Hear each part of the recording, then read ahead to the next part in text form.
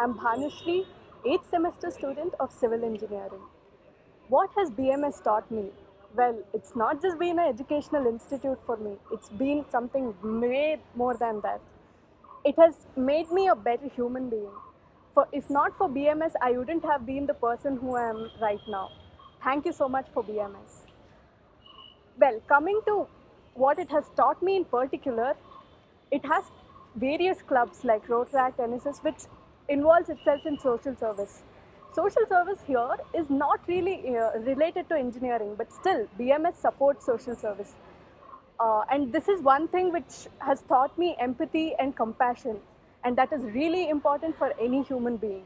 I would also like to thank all the uh, faculties. They have taught me how important it is to be educated and not, not just to be qualified. What else BMS has taught me is it has taught me how to explore yourself. It has taught me how important it is to set a goal and work for it.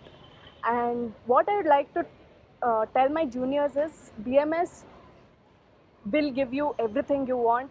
Please explore it. Please make right use of it. Thank you.